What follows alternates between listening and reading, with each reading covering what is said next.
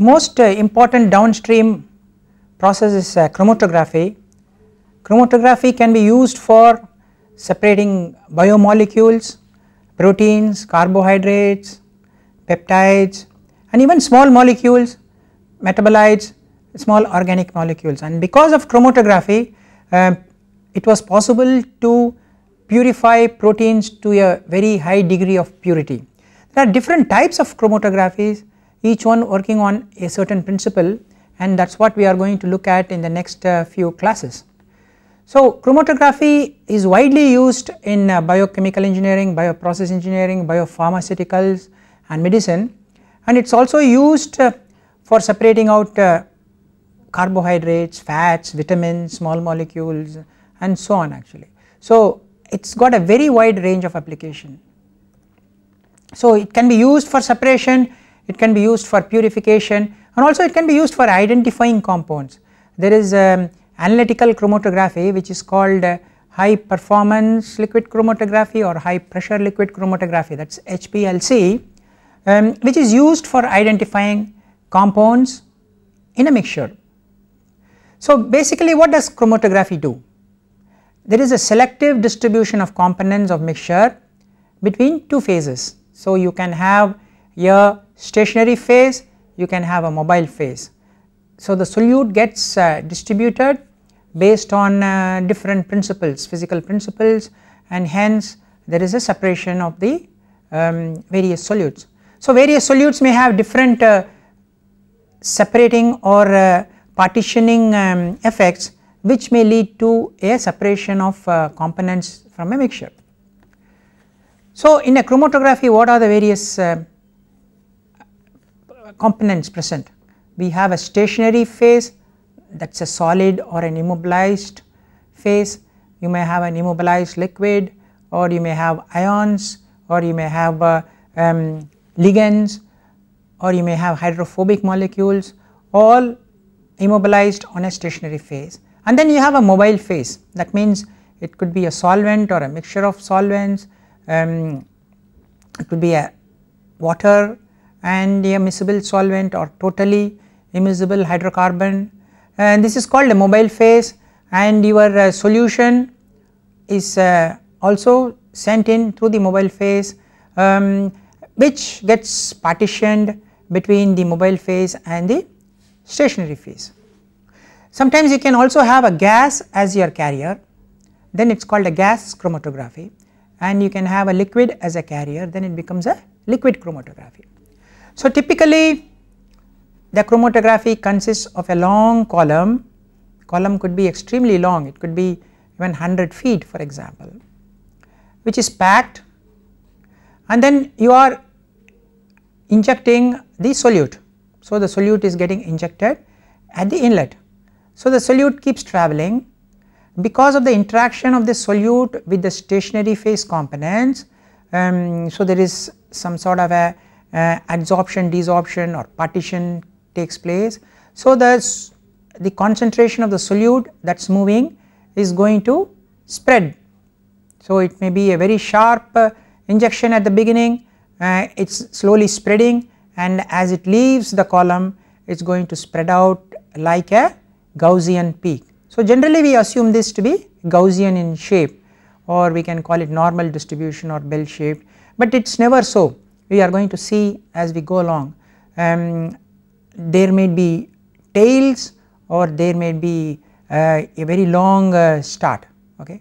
But generally if you look at a concentration profile as it travels because of uh, the interaction between the station stationary phase and the liquid phase the solute forms a spread uniform distribution spread and this is very common in all chromatography. So if you have a mixtures of protein for example which is injected at the inlet and there is a solvent which carries this protein and there is a packed column um, on which you have certain stationary phase material the proteins are going to get separated because of the varying interactions they have with the stationary phase. There could be ionic interaction between the um, solute in the mobile phase and the stationary phase and this ionic interaction could be varying depending upon the type of proteins present.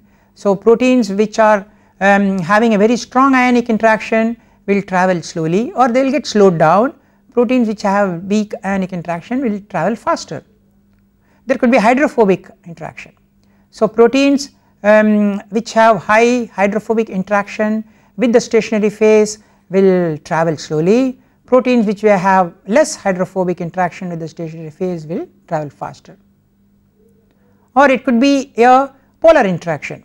So, a proteins which have very high um, polarity will interact much more with the stationary phase. So, they will travel slowly whereas proteins which has less polar groups on its surface will not interact much with the stationary phase. So, they will travel faster. So, slowly as this protein mixture travels through the column they get separated and the protein which has the least interaction with the stationary phase will come out first. So, the principle of interaction could be hydrophobic or polar or uh, ionic or uh, affinity or anything like that. So, the proteins which have least interaction with the stationary phase will come out first, proteins which have most interaction with the stationary phase will get retarded and they will come last that is how you get the separation. This is how um, yeah chromatography is able to separate proteins or small molecules or metabolites or um, any biomolecule uh, into various components. Of course, uh, you are not going to get very sharp uh, differentiation in the protein sometimes there could be a overlap which may be very close or they may be considerably different. So, we are going to look at all these variations as we go along during the course of this particular uh, topic. There are different classifications of chromatography. It can be a in a very broad sense a planar chromatography or a column chromatography. As the name implies um, in a column chromatography we are going to use a column. In a planar chromatography we are going to have a planar surface like paper chromatography or thin layer chromatography. if you look at chromatography um, many many years back organic chemists used to use uh, something called the thin layer chromatography to separate out components uh, in a reaction mixture and possibly even identify whether the product has formed. If they have a authentic sample of the product they will um, simultaneously run the thin layer chromatography and see whether the product has formed. So, organic chemists have been using this chromatography for a very very long time. If you look at the column chromatography which uses a column and there is a mobile phase, there is a stationary phase okay. In the mobile phase it can be a gas, mobile phase you can have a liquid. So, you can have a in the gas you can have a gas solid chromatography or a gas liquid chromatography and similarly in the mobile phase you can have uh, liquids so you can have a liquid solid, liquid liquid and so on. So, different types of chromatographies are possible. So, if you look at uh, the stationary phase it could be a bonded phase, you could have a gas solid, you can have a liquid liquid, um, you can have a gas liquid or liquid solid and so on. So, all these various combinations are possible. Uh, so, that particular table uh, was trying to differentiate between the structure of the chromatography whether it is a paper or a planar or whether it is a column or a tube. It was not talking about the physical principle. Okay. The different types of chromatography based on physical principle is what is shown in this particular slide. So, if um, the separation is based on volatility. That means the boiling point and so on. Then we use something called a gas liquid chromatography. If it is based on partition coefficient then we have a liquid liquid chromatography. That means the solute gets partitioned between two liquids okay? The liquid which is in the stationary phase and the liquid which is in the continuous phase. Similarly you can have a liquid solid chromatography. That means you have a, a solid stationary phase and a liquid and your um, solute is getting partitioned between these two. If the separation is based on charge that means cat, uh, positive charge or negative charge um, then it is based on ion exchange chromatography. If the separation is based on hydrophobicity that means uh, um, because of hydrophobic nature of certain proteins um, they get retarded inside the column then we call something called a hydrophobic interaction or reverse phase chromatography. So, hydrophobic forces are the key in deciding on the separation. If uh, the diffusion of uh, the proteins through pores is the key then it is called a gel permeation chromatography or size exclusion chromatography GPC. If the molecular recognition or a, a, a binding between a ligand and protein is what is important then it is called the affinity chromatography. So, you have large number of chromatographies possible and each chromatography works on a certain physical principle. So, if you have charged molecules then I will go for an ion exchange chromatography. For example, I have salts, I have proteins, I want to get rid of my salts. Where do you get the salts from? Like you use salts for uh, um, salting out ammonium sulfate or sodium chloride then I want to remove that salt first. What do I do? I may go into ion exchange chromatography. If I have proteins of different sizes or different molecular weights then what do I do? I can use a gel permeation or size exclusion chromatography. Suppose I want to remove a particular protein out of a mixtures of several protein then if I know a ligand which is very very selective for the protein I may have the ligand immobilized on the stationary phase then what happens the protein is bound only to that ligand rest of the proteins um, do not bind to the ligand because as you know ligand protein binding is very very selective. So only that uh, particular protein is captured by the ligand whereas other other proteins are not captured by the ligand. So that is called affinity chromatogram. So depending upon the principle which you want to follow depending upon the mixture of proteins you want to separate we may use different types of chromatographies and um, all these chromatographies are already being practiced commercially uh, for purifying um, biomolecules, uh, biopharmaceutical products, um, protein and so on actually. A typical block diagram of a chromatography setup, this is how it is going to look at. So you have a solvent holder or a solvent tank, then there is a pump, then you are injecting your sample. So the solvent is the continuous phase, okay then you have the um, column containing the packed or the stationary phase then you have a detector there are so many types of detectors um, that are available ranging from UV to refractive index to light scattering and so on actually and then finally you will have the collector of the various fractions and you can also have a data logging and data analysis uh, programs and computer and so on actually. So um, the solvent or the solvent mixture flows through the pump and it flows through the column. So we can have two pumps and we can have two different solvents also. So that way we can change the polarity of the solvent or the continuous phase.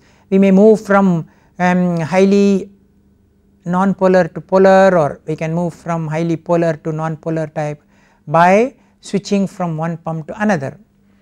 So a single pump is called an isocratic system, a double pump could be a binary system. So we can um, change the polarity by having two pumps and two solvent holders. We can um, collect each of the fraction that is coming out and then uh, you can do further processing of that uh, fraction.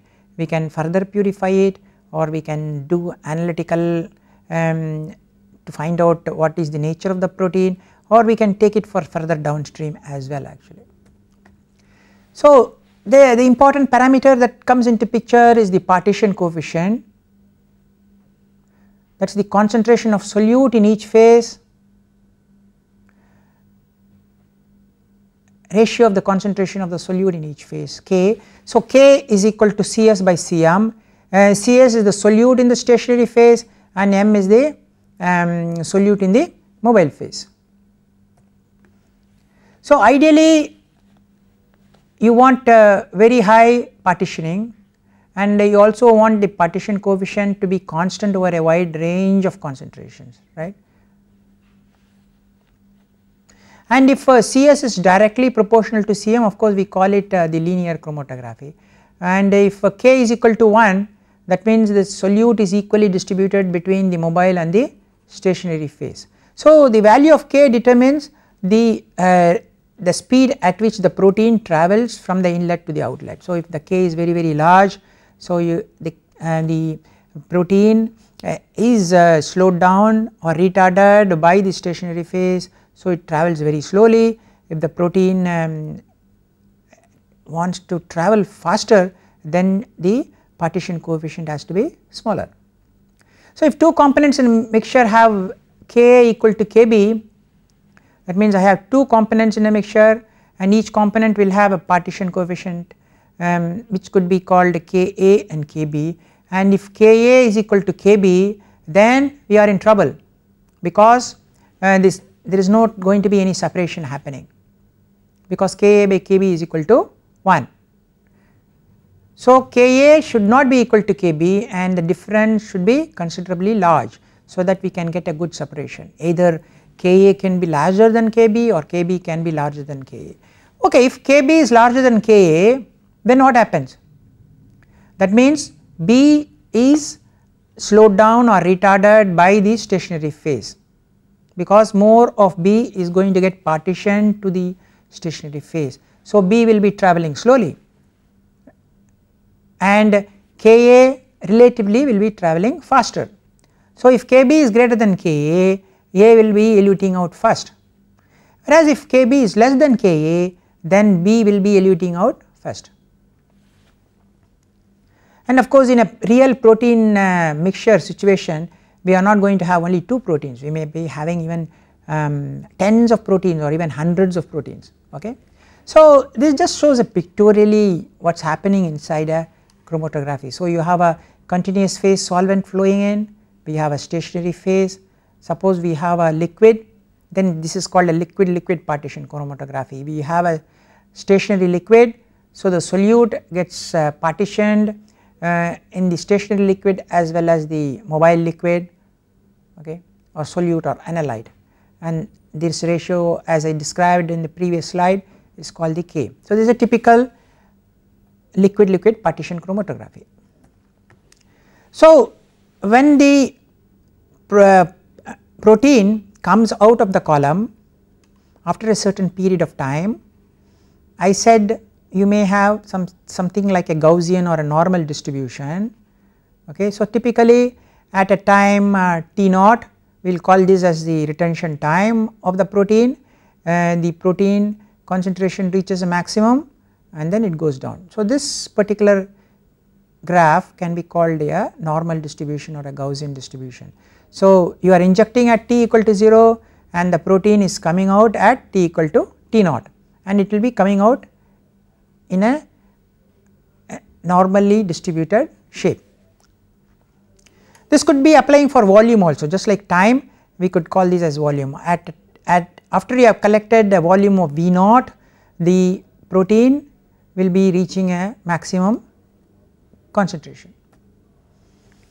So the retention time of the protein depends on flow rate of the mobile phase obvious right. So the flow rate is faster retention times will be less. So flow rate is equal to V that is the volume of the column P porosity of the stationary phase divided by time. Okay, so the retention time is a function of the volume of the column, the porosity as well as the uh, time required by a molecule of the mobile phase to pass through the column. Okay. Now there is something called the corrected retention time which is given by Tr dash equal to Tr that is the retention time we calculate minus the Tm that is the time required by molecule of the mobile phase to pass through the column. That means if there is no interaction between the um, mobile phase solute and the stationary phase then it is the time required for the molecule to just go through the column and as I said the columns are generally very very long um, maybe even going up to hundreds of uh, feet. So that time needs to be subtracted to get the corrected retention time Tr dash. so if you look at a chromatogram of two components so this we call it as the baseline this we call it as the detector signal this could be your time okay this could be your time. So there is a peak coming out first and this is the Tm that is the time required for a molecule to travel from the inlet to outlet. If there is no interaction of the molecule with the stationary phase material. And then you have component A coming out component B coming out. Okay. Now this is the retention time for component A. And this is the retention time for component 2 B okay. But if you want to do the corrected retention time we need to subtract this Tm from Tr1 and we need to subtract the Tm from Tr2. We can have different types of uh, chromatograms possible okay. Imagine I have a mixture of 3 proteins I am passing it through a column and I am getting an output signal like this protein 1, protein 2, protein 3 okay. So if you look at this compound 3 or protein 3 it is well separated from 1 and 2. So we can collect this and we can assume when we collect it will be 100 percent. But let us look here we have both the compound 1 and compound 2 or protein 1 and protein 2 partially mixed together. So when I collect samples in this region I may get compound 2 also present or when I collect here I may get compound 1 here also. So ideally I need to get a better separation of these two proteins if I want to collect 100 percent whereas I can collect very pure compound 3 without any problem there is not going to be any contamination with compound 1 and compound 2. So um, here I would say this baseline separation is not good this is the baseline so, the baseline separation of compound 1 and compound 2 are not good. So, when I collect in this periods of time I will be also collecting the other protein.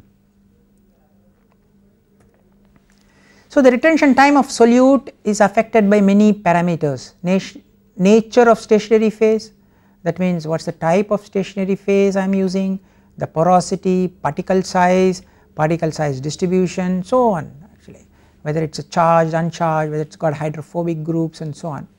Composition of the mobile phase, mobile phase is a solvent. So, what is the composition of my solvent phase? Does it have water, does it have pure solvent, does it have mixtures of solvent, what is the polarity of the solvent mixture, uh, dipole moment of the solvent mixture, viscosity of the solvent mixture and so on. Column dimensions, what is the length of the column, what is the diameter of the column and finally the the flow rate of the mobile phase how fast the mobile phase is flowing or how slow the mobile phase is flowing. So all these parameters affect the movement of my solute through the column. So for a given stationary and mobile phase composition the retention time of solute increases with increasing length of the column. So if I have a very long column it will take much longer time for the compound to come out. If I have a very short column it will come out faster. Okay? Or the retention time of the solute increases if I decrease the flow rate of the mobile phase. That means if I reduce the flow rate of mobile phase the compound will take much longer time to come out. Obvious is not it.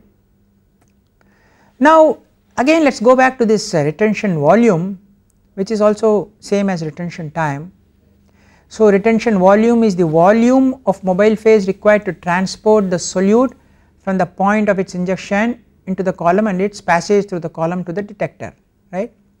So, Vr is equal to Tr into F, F is your flow rate, T is your time. Now the corrected retention volume again just like we did corrected retention time we need to also subtract Vm. This Vm relates to the, the, the dead space volume okay or the void volume Now, so Vr is equal to uh, Vm plus K into Vs. There is another factor which is called the capacity factor or the retention ratio. So, it is a measure of the retention of a solute component okay. So, it is a measure of the retention of the solute component. It is a measure of time spent by a solute in the stationary phase relative to the time spent in the mobile phase or it is also called mass distribution ratio or it is also called solute partition ratio. So, capacity factor is given by this particular formula S relates to the stationary phase and M relates to the mobile phase. So, it is the total amount of solute present in the stationary phase divided by the total amount of solute present in the mobile phase. So, how do you calculate total? Total is nothing but concentration into volume that is why you have Cm into Vm. This is the total amount present in the mobile phase, this is the total amount present in the stationary phase. Okay. So, this is a measure of uh, the time spent by the solute in the stationary phase that is the S vis-a-vis -vis the time spent in the mobile phase that is the M.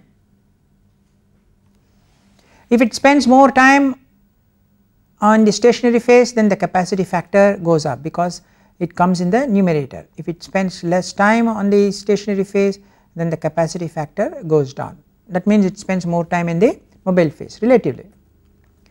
There is another term which is called the column efficiency. So, the efficiency of the process is related to the width of the chromatographic peak. Okay. If the width is very very large then what it means is you are having a sort of a spread of the product whereas if the if the um, efficiency or the width of the um, peak is very very narrow that means the spread is much less. The length of the column occupied by one theoretical plate is defined as the height equivalent to a theoretical plate okay. So there is a term called a theoretical plate this is called the height equivalent of a theoretical plate okay and it is given by this uh, formula h is equal to sigma square by L where L is the length of the column and sigma square is the variance. So generally good H value for a 90 micron bead is between 0.018 to 0.027 centimeter, good H value for a 34 micron matrix is between 0.007 and 0.01. Ideally we would like to have the height to be very very small that means if your sigma square is very small height of a theoretical plate also will be very small. So all these factors determine the efficiency of the column. Okay. So imagine once again uh, your, your Gaussian type of uh, peak coming out. This is called the base. And this is called the half width. That means the width at half the maximum. So if this is the maximum height h this is half h and this is called the inflection point or the steepest portion of the curve. So, we can draw a tangent, we can draw another tangent, this will look like a triangle and um, this is the steepest point. Now, this weight W is equal to 4 sigma and this width W half is equal to 2.35 sigma.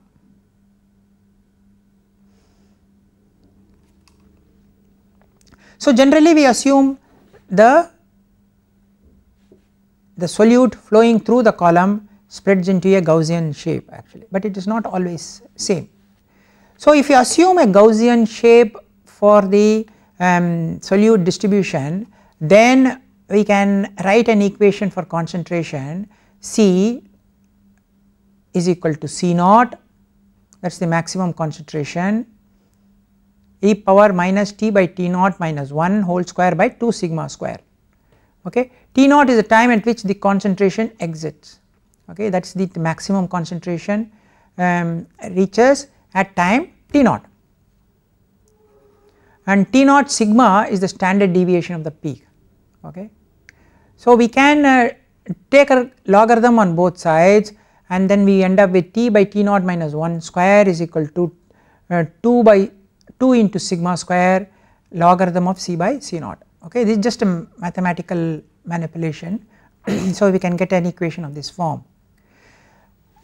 So this equation relates C naught that is the maximum concentration, T naught is the time at which this maximum concentration happens, C is the concentration at any time t, T naught sigma is the standard deviation of that particular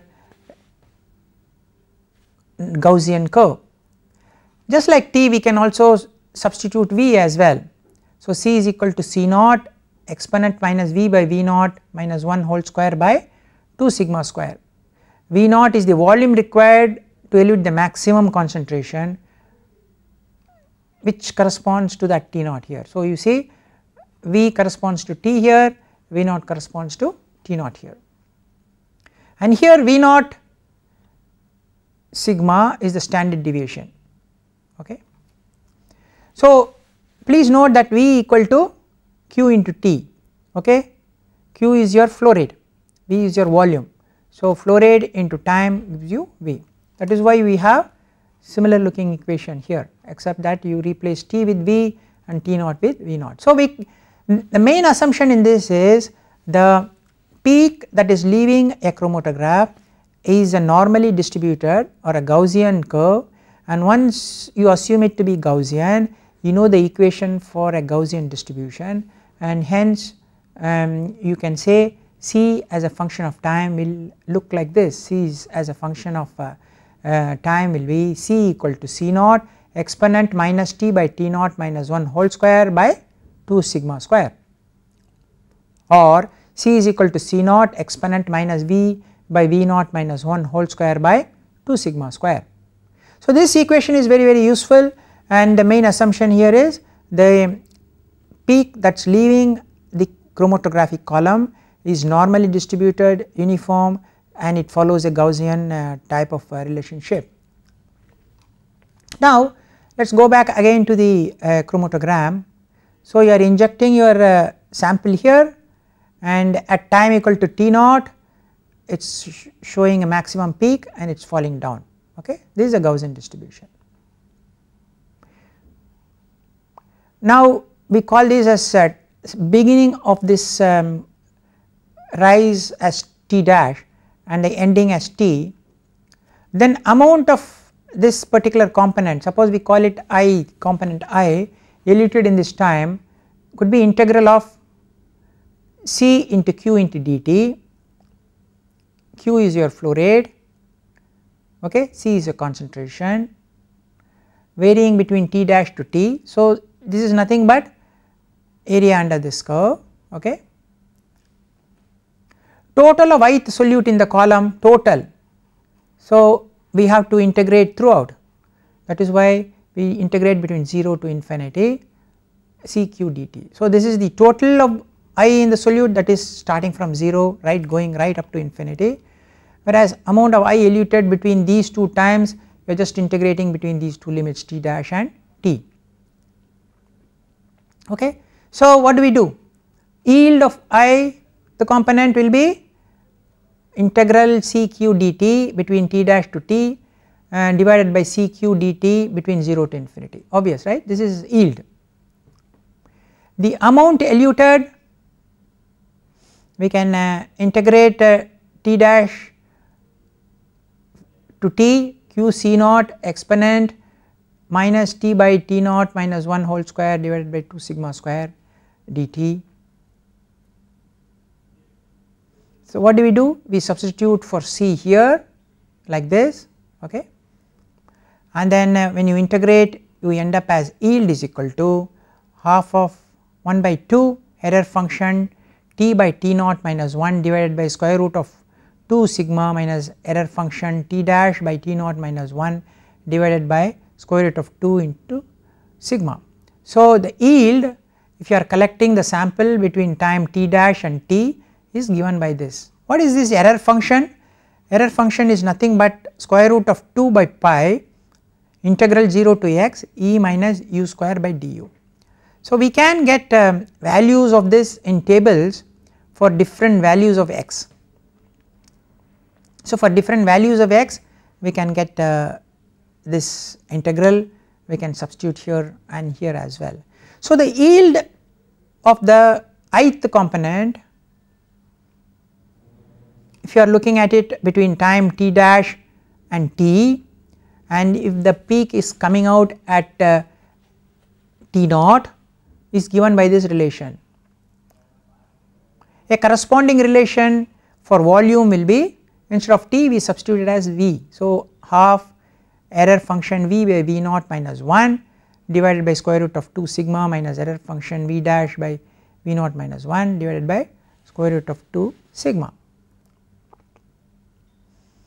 So, this is a very important equation because uh, we want to know how much of the protein we are able to collect if I um, start collecting between t time t dash to time t. A protein may be present in different locations inside the column, but uh, you are just collecting between time t dash and t uh, assuming that t naught um, is the time at which the protein maximum concentration is observed and T naught lies between T dash and T. Ideally when I am doing a protein purification I want to maximize my yield, I want to collect as much of the protein as possible. But then there is a balance you need to strike if I try to increase my uh, the window of time the impurities also may get collected. So, the purity of the protein which I am collecting may be going down whereas if I decrease the window of collection the purity of my protein of interest may go up but the yield will start going down. So, I need to strike a balance between both. So, if so if T and T dash are equal then there is no yield obvious and if T dash is equal to 0 but that means from time equal to 0 itself I have started collecting the error function term containing T dash that is this term if t dash is equal to 0 the error function containing this term will be minus 1. So, what will happen yield will become half of 1 plus error function t by t naught minus 1 divided by square root of 2 sigma. So, if I am collecting from time equal to 0 to some time t then the yield will be half of 1 plus error function t by t naught minus 1 divided by square root of 2 by sigma. Now there is something called purity. A protein mixture may contain several proteins, n proteins. So when I am collecting the ith protein, I may be also collecting some amount of the remaining proteins also, right. So how do I calculate purity? Purity is nothing but concentration C0i into yield i divided by summation of C0j yield j for all the J's that means if there are n protein I will have n terms like that all added up together with each other okay. So that is called the purity and as I said if my uh, window of collection is very very short I am going to get more pure protein but my yield will keep going down if the window of collection is very large the yield will be large but the purity will be going down. so I need to strike a balance that is how I need to work at actually. So what is happening? You have a protein or a metabolite traveling in a solute or the sorry traveling in a continuous phase. Now this particular solute will start interacting with the stationary phase material. So there are many steps that is happening. the solute is transferred from the bulk solution to the surface of the stationary packing. So solute is there in the bulk solution so, it will come to the surface of the stationary packing, then it diffuses into the packing, it interacts reversibly with the packing. So, this interaction different types of interactions are possible no? It is reversible interaction. It is not irreversible because chromatography is always reversible process. We want to collect the protein and then uh, we want to recover it okay. So it is a reversible, reversible process.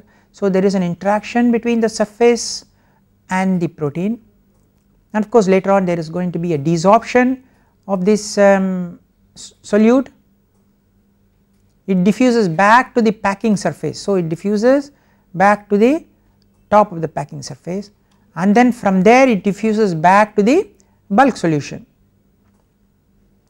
So, so many steps are taking place here. So the solute from the bulk solution comes to the surface of the stationary phase. Then there is a diffusion of the solute through the stationary phase. Then there is a irreversible interaction with the stationary phase.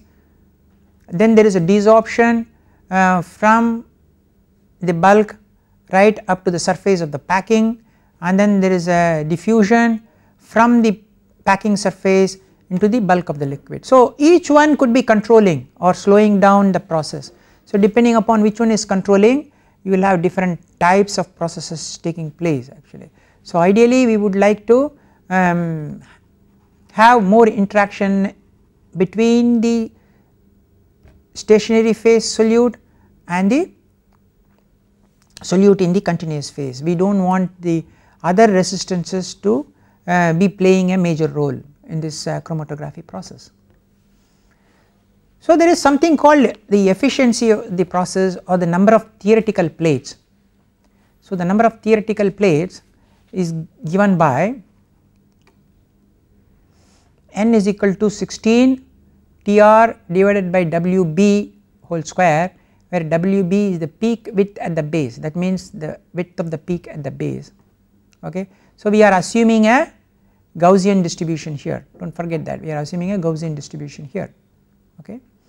So there are different types of equations available for this uh, uh, depending upon whether we are measuring the base uh, width or whether we are measuring the um, half width maximum and so on actually that means width at the half maximum and so on. So all these assumptions are based on a Gaussian distribution. But what happens if it is not Gaussian? Okay. There is another relationship that is called the Dorsey-Foley equation for calculating the number of theoretical plates. Okay, that is given by this relationship. And uh, the assumption here is the, the peak is not uniform with respect to the center. So there is a non-uniform region between the left side of the center and on the right side of the center. So if this width is A that is on the starting side and B that is on the ending side. Then the number of theoretical plates is given by 41.7 Tr by W.1 divided by A plus B A by B plus 1.25 where A plus W 0.1 is nothing but A plus B that is this width okay and Tr is your retention time.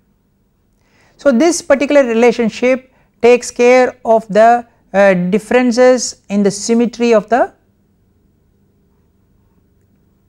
the, the chromatogram or the spectrum that is leaving the column.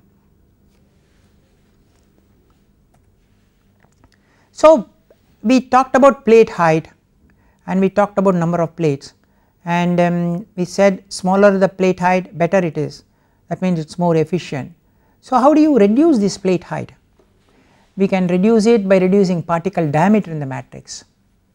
So I can make the particles very very fine but um, there is a disadvantage if I make particles very very fine you are going to have uh, the liquid flowing through encountering lot of resistance. So the pressure drop increases that means I need to increase the pump pressure reducing column diameter. When I reduce column diameter for same throughput again um, I am going to increase the velocity of uh, the liquid flow through the column. So again I am going to encounter pressure and forces. Changing column temperature yes I could change column temperature but then again if I am handling proteins I do not want to affect uh, the, uh, the stability of the protein by increasing column. Reducing the thickness of the liquid film. So, if you have uh, any liquid present um, on the stationary phase if I reduce the thickness of the liquid film I will be able to improve the plate height. Optimize the flow rate of the mobile phase. So, I can I need to adjust with the flow rate of the mobile phase so the plate height becomes good. So, if your thickness of the liquid film especially comes into picture when we are talking about liquid liquid chromatography and the thickness depends on physical properties of the continuous phase such as viscosity, density, surface tension, dielectric constant etc and also how it interacts with the matrix that is the stationary phase matrix. There is another term which is called the resolution. So, if I have two components present how good the separation of these two components is that is what resolution tells about is the separation very good that means resolution is very good if the separation is very bad that means resolution is very poor. So, resolution is a measure of the separation of two components present in my mixture. So, it depends upon the uh, retention time, it also depends upon the uh, width at the base of the peak. So, resolution is given by 2 times. Difference in the retention time divided by sum of the width of the bases of the two components. Or we can take uh, uh, based on the width at half maximum W that is W half then resolution is given by 0.589 delta T i j that means the, the difference in the retention time of component i and j divided by average of the width at half maximum. So, if the width uh, at half maximum for component A is something width at um, half maximum for component B is something else you take an average between these two and substitute here that is what is resolution. So, the resolution depends on many factors you know, it depends on column selectivity or separation factor, retention factor, capacity factor, number of theoretical plates and so on. So, all these affect the resolution. So, we can get an equation for resolution in terms of all these you know separation factors, um, capacity factors, theoretical plates and so on actually. So, resolution tells you how good the column is in separating two components. For example, I have two components and the output uh, looks like this you know they are well separated. The distance between these two is 6 sigma then the resolution is 1.5 okay. If the distance between these two maxima are 4 sigma then the resolution will be 1. If the distance between these two are 3 sigma then the resolution is uh, 0.75. If the distance between these two are 2 sigma then the resolution is 0.5. So depending upon the distance whether it is 2 sigma or 3 sigma or 4 sigma or 5 6 sigma I get different numbers ranging from 0.5, 0.75, 1, 1.5 and so on actually. So, resolution tells you how good the peak maxima are or how far apart these peak maxima are. So, resolution between peaks improves with L that means if I have a longer column I can move the two uh, peaks slightly further apart, but it also leads to an increase in the elution time that means the component will come out much slow, slowly. So, the selectivity can be modified by changing the composition of the mobile phase that means I can change the composition of the mobile phase I can make it more polar or I can make it more uh, um, non-polar. I can play around with the composition. Changing the column temperature as I originally said sometimes uh, the proteins may, may be very sensitive to column temperature. So, we might not be able to play too much with column temperature, but uh, um, if we are handling only small molecules or metabolites or drugs then changing column temperature is an option. Changing the stationary phase I can use some other stationary phase sometimes using some chemicals additives all these can also help in changing the selectivity of the chromatography process. There is something called peak asymmetry. Although we have been think saying or thinking that uh, the peak leaving the column will look like a normally distributed uh, Gaussian uh, extremely symmetric, but it will not be so. It may have a front or a fronting or it may have a tailing. That means the concentration may be dropping very very slowly that is called a tailing or the concentration may be rising very very slowly that is called the fronting. So all these are possible and all these are because of maybe the polarity of the solvent or maybe because of the stationary phase material okay. So sometimes you may have a very poorly packed columns or there could be some sample injection problems or uh, the, the capacity factors may be very very different. So all these are possible actually. So how do you calculate this tailing factor we can we know what is A we know what is B. So A plus B divided by 2A and if we calculate that generally this number varies between 0.9 to 1.1. So if it is around 1.1 that means B is more that so you get a tailing. If it is less than 1 that is around 0.9 that means A is more that means you will have the fronting. So if you calculate this A plus B divided by 2A and if it comes out to be less than 1 we can say it is a fronting type of situation and if it is greater than 1 you may call it as a tailing type of situation. So this is possible because of so many factors as I said uh, because of the selection of solvents, because of the type of packing we are using. Sometimes we make mistake during injection of the solute mixture or the protein mixture.